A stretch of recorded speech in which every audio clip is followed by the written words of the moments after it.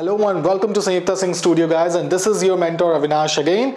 And uh, आप लोगों की बहुत ही इंक्वायरी आ रही थी, सर, कि जीके का पैटर्न बहुत चेंज हो रहा है। एनआईएफटी में लास्ट टू थ्री इयर्स में एडिशनल टॉपिक्स ऐड ऑन कर दिए गए मार्किंग सिस्टम भी चेंज हो गए पहले 15 मार्क्स का जीके आता था नाउ इट्स 25 मार्क्स तो yes things have changed in the last couple of years specifically if I talk about NIFT and NID both अब एनआईडी का कोई पैटर्न नहीं होता। यू ऑल नो जैसे कि हमने अपने लास्ट के कई सारे वीडियोज़ में बताया कि एनआईडी का कोई पैटर्न नहीं है। कभी 25 क्वेश्चंस आते हैं एप्टीट्यूड में कभी 50 आ जाते हैं कभी 60 आ जाते हैं कभी 70 आ जाते हैं इट ऑल डिपेंड्स नाउ अगर ये माइंडसेट बिठा लो कि लास्ट के थ्री इयर्स से एन आई में मैथ्स तो आया नहीं जी के भी एक आध क्वेश्चन आते नहीं तो आते नहीं मोस्टली रीजनिंग के क्वेश्चन होते हैं. सो so, उस माइंडसेट से चलने की ज़रूरत नहीं है. But I am trying to explain you here कि एन और निफ्ट दोनों के लिए आप जब प्रिपेयर कर रहे हो तो एप्टीट्यूड पार्ट पूरा प्रिपेयर करो। मैथ्स भी रीजनिंग भी इंग्लिश भी जीके भी सारी चीज़ें। यू नेवर नो क्योंकि एनआईडी कुछ सिलेबस बता के नहीं देता। एटलीस्ट निफ्ट एक्सप्लेन कर देता है कि आ, उसके जो डिफरेंट पार्ट्स हैं एप्टीट्यूड के मैथ्स का रीजनिंग का सबका अलग अलग है क्या मार्किंग सिस्टम है एनआईडी में ऐसा नहीं है। यू सीड की जहाँ तक बात की जाए या सीड की जहाँ तक बात की जाए जीके के कुछ क्वेश्चन उसमें भी पहले आ चुके हैं। Right so you have to be very careful कि आप जीके को बिल्कुल लेट गो नहीं कर सकते स्पेशली अगर आपको नेफ्ट क्रैक करना है तो। और एन uh, और यूसीड में भी आपको जीके लेकर चलना पड़ेगा। यू नेवर नो अगर दो तीन क्वेश्चन भी आ जाते हैं सो इट्स वेरी इंपॉर्टेंट क्योंकि वो मार्क्स भी बहुत ही इंपॉर्टेंस रखते हैं। So moving forward according to the new pattern this is a part one of GK कि कौन कौन से टॉपिक्स हैं और किस तरह के क्वेश्चन आ सकते हैं या आ चुके हैं। So we are going to prepare you for the same and this is a part one as I said before और इसको पहले एक बार हम गो थ्रू करते हैं then will come with part two and part three तीन पार्ट में हम पूरे टॉपिक्स कवर करेंगे कि किस तरह के जो आई मीन सिलेबस क्या है जीके का और किस सॉर्ट ऑफ़ क्वेश्चंस आ सकते हैं। ठीक है? So moving forward First of all, dance forms. Now, dance forms are divided in two categories. One is classical dance form, the other one is folk dance form. So, first of all, when you are studying about it, classical dance forms आपको पता होने चाहिए कितने classical dance form हैं जो approved हैं और uh, uh, उनके origins कहाँ पर हैं कौन कौन से घराने से हैं वो belong करते हैं so these are the same folk dance. अब फोक डांस बहुत सारे, एक एक स्टेट में 20 25 फोक डांसेस है तो it's not easy to remember but at least go through it once जैसे यहाँ पे एक क्वेश्चन है which of the following is a folk dance from Gujarat बहुत ही इजी क्वेश्चन है, जब ये ऑप्शंस देखोगे, गरबा, भांगड़ा, घूमर, लवनी। ठीक है, लेकिन अब इस चीज़ को आपको यहाँ पे नोटिस करना है कि आप यहाँ पे सिंपली आंसर दे दोगे garba right which is right answer लेकिन भांगड़ा आपको पता है पंजाब, घूमर, क्या आपको पता है कि कौन से स्टेट से? तो इसी तरीके से आपको हर एक ऑप्शन का आंसर पता होना चाहिए right so here the correct answer is garba right this is the right answer next question is which dance form is primarily perform during Onam अब ओनम में कौन सा dance form Onam is a festival of south that is in Kerala mostly तो कौन सा dance form उसमें perform किया जाता है? Now you have the option here is Kathakali Thiruvathirakali Kuchipudi and Bharatanatyam you all so here you have to recall कि कौन सा डांस फॉर्म कौन से स्टेट से बिलोंग करता है। And Bharatanatyam obviously that is a classical dance form Kathakali Kuchipudi classical dance form यहाँ पे the right answer is Thiruvathirakali इसका और भी एक नाम है दैट इज़ कोई काटा कली right so that's a right answer moving forward अलग टाइप अब इस तरह के क्वेश्चंस भी निफ्ट में आते हैं. That is match the following ना मैच द फॉलोइंग कोई ज़रूरी नहीं है कि कोई डांस फॉर्म में आए. मैंने एक पैटर्न दिया यहाँ पे. तो मैच द फॉलोइंग आपका हिस्ट्री से भी आ सकता है आपका जीआई टैग से भी आ सकता है आपका टैग लाइन से भी आ सकता है लोगोज से भी आ सकता है. Right right? सो so, मैंने एक पैटर्न बनाया कि किस तरह के क्वेश्चंस यूजुअली आते हैं. Now here if you will see the options here on the left hand side, you have the name of the dance form. On the right hand side, you have state. तो आप ध्यान से देखो, Kathak. Now, Kathak belongs to Uttar Pradesh, जो origin है. Bharatanatyam.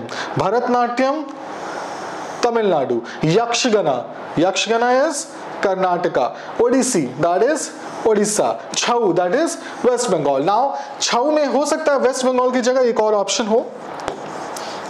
Jharkhand. Now basically अगर ये नहीं है तो कंफ्यूज होने की ज़रूरत नहीं है because Chhau is also performed in some part of border areas of Jharkhand जो झारखंड और वेस्ट बंगाल को कनेक्ट करता है। तो वहाँ पे भी छऊ डांस जो है परफॉर्म किया जाता है। ठीक है? मूविंग फॉरवर्ड नेक्स्ट पहला हमने डांस फॉर्म करा। Next one is musical instrument ना म्यूजिकल इंस्ट्रूमेंट पे जो क्वेश्चंस आते हैं, वो भी डिफरेंट तरीके से आते हैं लाइक फ़ेमस प्लेयर ठीक है? यूजुअली या फिर उसमें आपसे ये पूछा जा सकता है कि who is Bharat Ratna of Indian musician या फिर आपसे ये पूछा जा सकता है कि एक प्लेयर जो है वो कौन से म्यूजिकल इंस्ट्रूमेंट से कनेक्टेड है या फिर जो प्ले करते थे? इसमें मैचिंग भी आ सकता है राइट तो अब यहाँ पे जो क्वेश्चन है who is known as Bharat Ratna of Indian classical music आपको नहीं पता होगा तो उस केस में you won't be able to give the answer तो म्यूजिकल इंस्ट्रूमेंट आप जैसे हम अपने बच्चों को पढ़ाते हैं थ्रू द पीडीएफ जहाँ पे सारे कैटेग जितने भी म्यूजिकल इंस्ट्रूमेंट है क्लासिकल स्पेशली तो uh, उनके फ़ेमस प्लेयर्स उनकी picture so that you can recognise ऐसे भी क्वेश्चंस आ चुके हैं पास में कि आपको पिक्चर दी हुई है and you have to recognise the name of that musical instrument और वो कोई ईजी नहीं होगा. आप नॉर्मली रिकग्नाइज कर लोगे फ्लूट को तबला को घटम को वीना को. अब वीना में भी अलग अलग कैटेगरीज है. मोहन वीना अलग है है, सरस्वती वीणा अलग है। ठीक है, सितार हो गया। तो इस तरीके से बहुत सारे म्यूजिकल इंस्ट्रूमेंट्स हैं क्लासिकल तो अगर आप पिक्चर से रिकग्नाइज नहीं कर पाओगे then it is difficult to remember those questions तो try to learn about all the classical musical instruments Bharat Ratna of Indian classical music and the correct answer is M S Subbulakshmi now अगर यहाँ पे कोई ये बोले कि रविशंकर को भी तो भारत रत्न मिला बिल्कुल मिला है। इनको भी मिला है, और बिस्मिल्ला खान को शहनाई के लिए भी मिला है। सबको मिला हुआ है भारत रत्न यहाँ पे बट यहाँ क्वेश्चन क्या है? Bharat Ratna of Indian classical music known as तो it is M S Subbulakshmi next one is Pandit Bhim Bhimsen Joshi is associated with which gharana अब mostly musicians and dancers classical dancers belong to a particular gharana बहुत सारे घराने हैं यहाँ पे।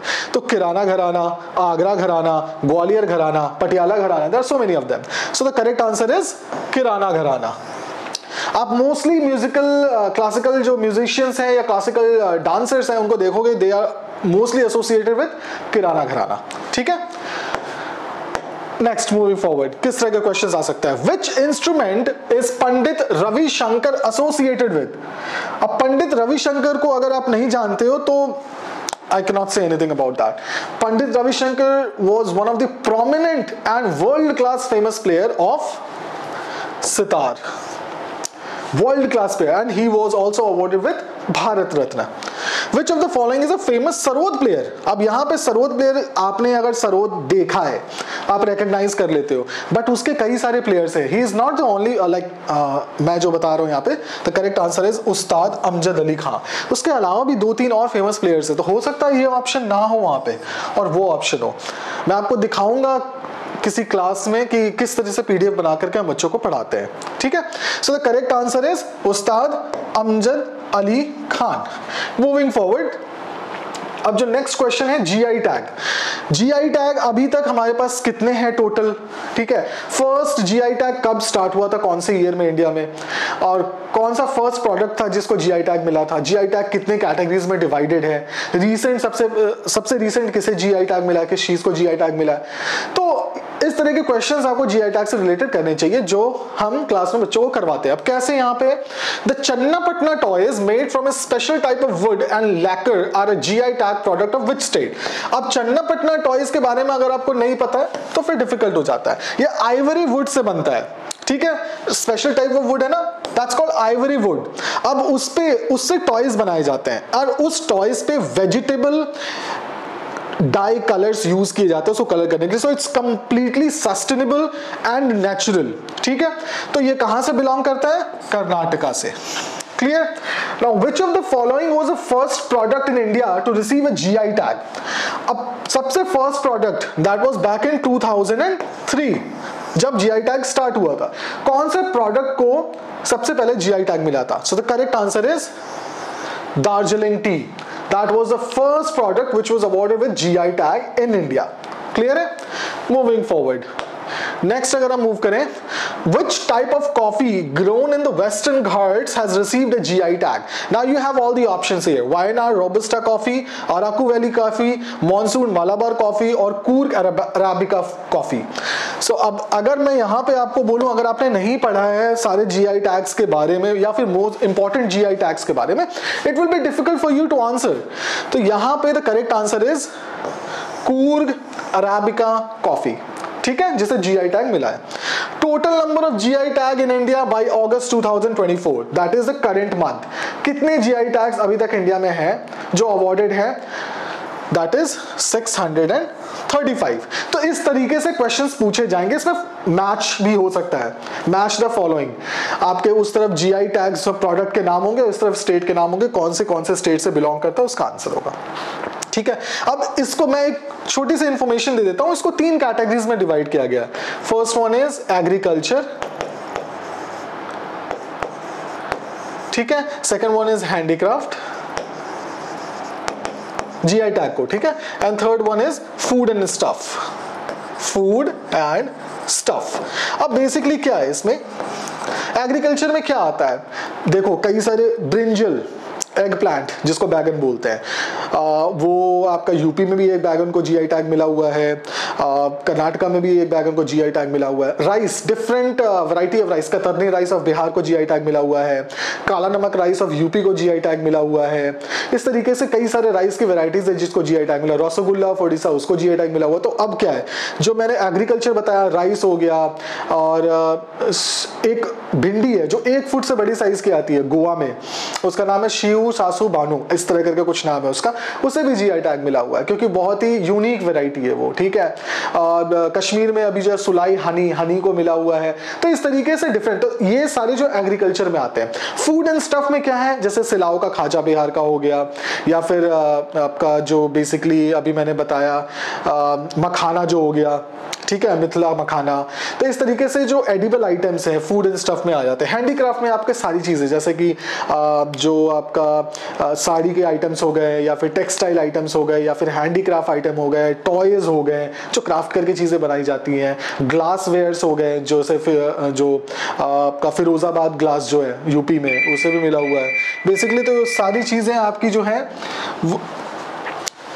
जैसे Firozabad glass हो गया यूपी में उससे भी जीआई टैग मिला हुआ। So these are the categories divided into ठीक है? इस तरीके से आपको पढ़ना है डिटेल में थोड़ा जा करके। एटलीस्ट एक टॉपिक को एक दिन का टाइम दो आप दो घंटे का you will be able to cover it I am not asking thirty days are enough if you do it properly, if you make a routine and spend two hours every day in gk you'll be good to go. Next one is UNESCO world heritage sites in India अब UNESCO world heritage site total कितने हैं? ये आपको पता होना चाहिए। कौन कौन से, ये आपको पता होना चाहिए, कहाँ पर है, ये आपको पता होना चाहिए राइट तो लोकेशन के लोकेशन भी इंपॉर्टेंट है मैच ऑफ़ द फॉलोइंग भी इंपॉर्टेंट है, कितने हैं, ये भी इंपॉर्टेंट है, ठीक है? Which of these UNESCO world heritage site is a blend of Indio Islamic Indo Islamic architecture and Persian influences तो you have the option Taj Mahal Charminar Qutub Minar and Humayun's tomb तो अब जहाँ पे Indo Islamic architecture और Persian architecture दोनों का influence है तो इसमें करेक्ट आंसर आपको पता होना चाहिए। ठीक है? तो आप जब तक डिटेल में नहीं पढ़ोगे at least four two five lines of every UNESCO world heritage site in India you won't be able to answer that right so the correct answer is Humayun tomb ठीक है? Next one is the Nanda Devi and valley of flower national park a UNESCO world heritage site is located in which Indian state ये बहुत easy answer है. Mostly को पता होगा, क्योंकि नंदा देवी भी पता है कहाँ पर है और वैली ऑफ़ फ्लावर्स भी. So correct answer is Uttarakhand. ठीक है? This is a UNESCO world heritage site moving forward next हम चलते हैं. Which of the following is not a UNESCO world heritage site ऐसा क्वेश्चन आ चुका है. अब अगर आपको ये पता ही नहीं है कि टोटल कितने हैं और उनके नाम क्या है तो it will be difficult for you to answer this question ठीक है? या फिर आप अपडेटेड नहीं है. आपको पता है पहले मतलब दो तीन साल पहले तक कितने सारे यूनेस्को वर्ल्ड हेरिटेज साइट्स थे इंडिया में. बट अभी का नहीं पता. You don't know about that so in that case what are you going to do मुश्किल होगा. तो यहाँ पे है रानी की वाव. एंड अजंता केव सही है? अजंता केव एम्स एंड ब्लू सिटी अब यहाँ पे कई लोग कंफ्यूज होंगे। रानी की वाव आपको पता है that's in Gujarat Ajanta cave आपको पता है दैट्स इन महाराष्ट्र अब ये दोनों में आप कंफ्यूज हो सकते हो। ब्लू सिटी किसको बोलते हैं? जोधपुर को। और Moidams this is the very latest edition in UNESCO world heritage site of India ठीक है? अगर ये आपको नहीं पता या फिर अपडेटेड नहीं है तो इसका, ये शायद आप इसको टिक करके आ जाए। ठीक है? But the correct answer here is blue city जो यूनेस्को वर्ल्ड हेरिटेज साइट नहीं है। पिंक सिटी है, बिल्कुल। जयपुर है। Jaipur is the entire Jaipur city is UNESCO world heritage site but blue city is not ठीक है? How many total UNESCO world heritage sites are there in India by August 2024 अब इस question को अगर आप ध्यान से देखोगे तो लास्ट ईयर तक इट वाज 42 ठीक है? बट इस साल ये ऐड हुआ। तो उसकी वजह से it is now 43 the correct answer is 43 ठीक है? Moving forward next question is abbreviations ये भी बहुत कॉमन है. ये एनआईडी में भी आता है, ये निफ्ट में भी आता है. दोनों जगह इक्वली इंपॉर्टेंट है ये. ठीक है? What is the full form of NATO अब you have all the options North Atlantic Treaty Organization National Atlantic Treaty Organization North American Treaty Organization National Aeronautics and Treaty Organization ठीक है? So the correct answer is North Atlantic Treaty Organization. अब यहाँ पे आपको अगर पता होगा, जो रशिया यूक्रेन का वॉर हुआ है, वो नाटो नाटो जो है that is a group of country to you know share the intelligence or uh, send their troops in another country in case of war or in case of any other assistance. So this is a group and a treaty. तो ये group of country है. तो इसी की वजह से Ukraine was ready to join NATO and Russia was feeling threatened about the same so that is why Russia want and when Ukraine did not listen to it Russia attacked on Ukraine so that is North Atlantic Treaty Organization what does ASEAN stand for ठीक है? अब यहाँ पे चार option है। अब देखो first और सेकंड ऑप्शन में थोड़ा सा माइन्यूट सा एक चेंज है। Association of South East Asian Nations Association of South East Asian Nations क्या डिफरेंस है? स्पेस साउथ और ईस्ट के बीच में स्पेस है। ठीक है? यहाँ पे कंफ्यूज नहीं होना है, ठीक है? The correct answer is Association of South East Asian Nations ठीक है? अब इससे भी रिलेटेड क्वेश्चन बनते हैं कि कितने सारी कंट्रीज़ है। आपके पास ऑप्शन है आई मीन क्वेश्चन होगा कि which country is not a member of ASEAN group उस केस में आपको पता होना चाहिए कि कौन सी टेन कंट्रीज़ हैं या कौन, कितनी सारी कंट्रीज़ है जो एशियन ग्रुप में है और कौन सी नहीं है, ठीक है? ये जब तक पता नहीं होगा, आप आंसर नहीं दे पाओगे।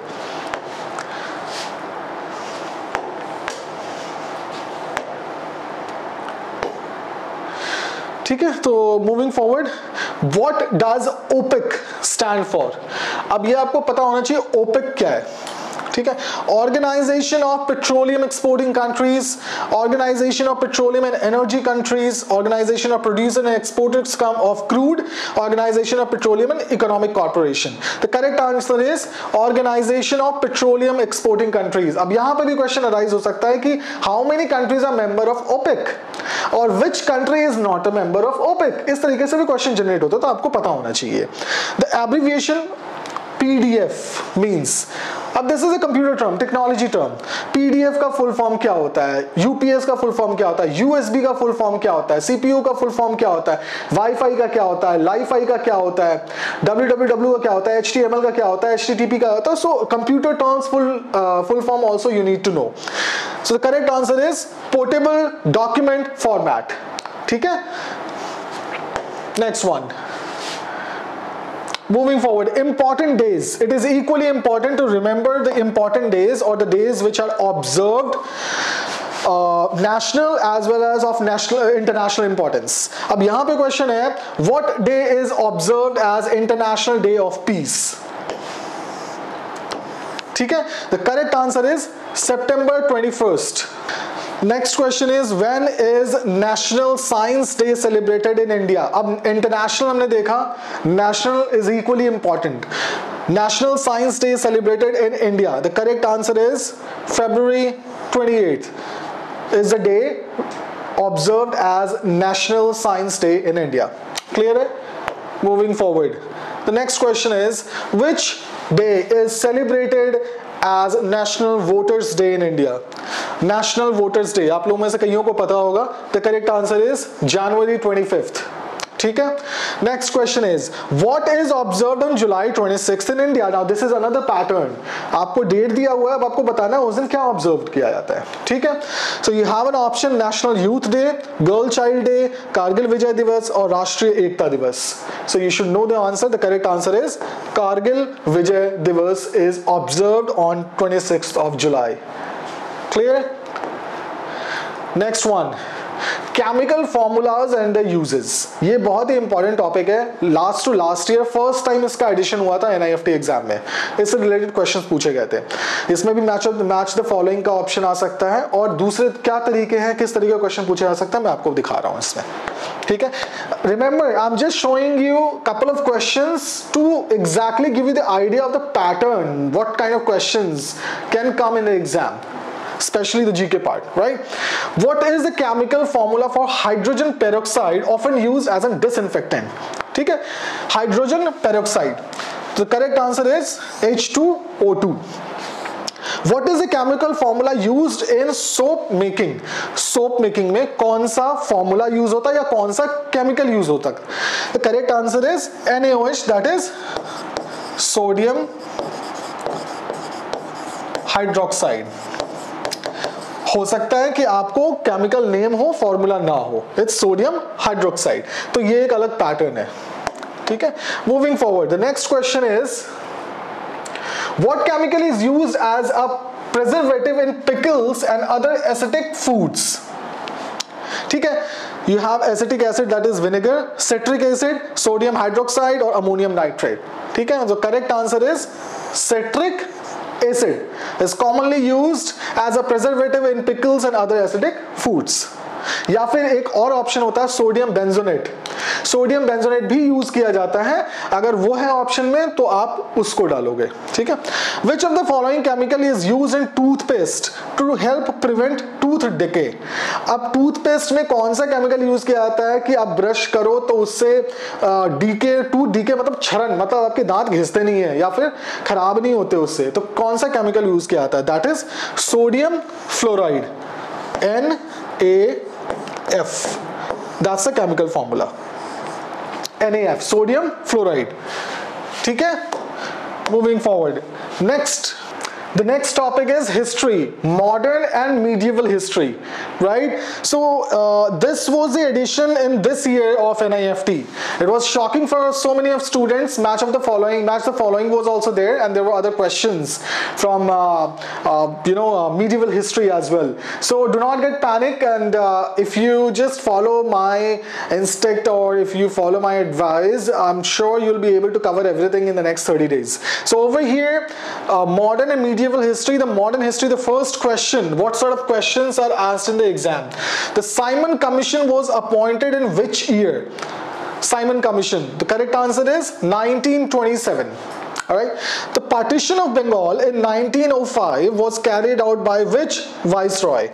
1905 में जो बंगाल का पार्टीशन हुआ था तो किस वाइसरॉय ने किया था? तो viceroy that simply means the ruler of the country और द प्रोविंस अपॉइंटेड बाय ठीक है?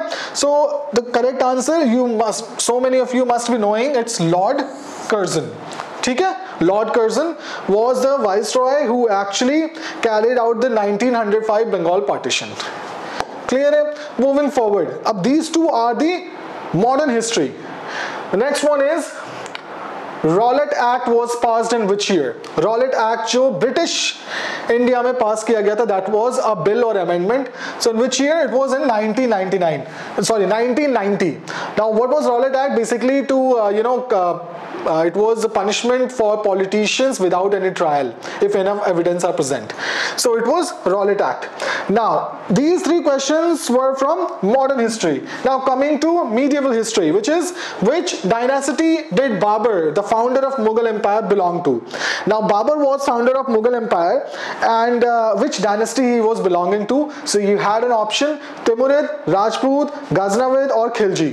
So in that case the correct answer is Timurid clear? So we did eight topics today that uh, eight chapters i would say for gk in the upcoming part two we'll be doing eight more topics. And in the last video which will be part 3 we'll be doing more 8 along with current affairs the area which where you should focus on specifically for current affairs and how to prepare for it where to go which website to go. Moreover you can also visit our website which is www.sanyuktadesign.com at the top right corner you will see online mock test click on it and then go and register yourself and you can appear n number of tests for GK current affairs. There are also topics and quizzes available to prepare for GK and current affairs as well as for the aptitude part clear? Now uh, that is it from my end for this particular uh, part 1 video of GK for NIFT and ID USEED and SEED and if you have any query any doubt you can always visit our Instagram which is SS Design House or put your query in the comment section. Meanwhile keep sharing liking and subscribing our channel. We'll continue making this sort of video for all the design aspirants across India. And wait for the next video. Till then take care. Bye bye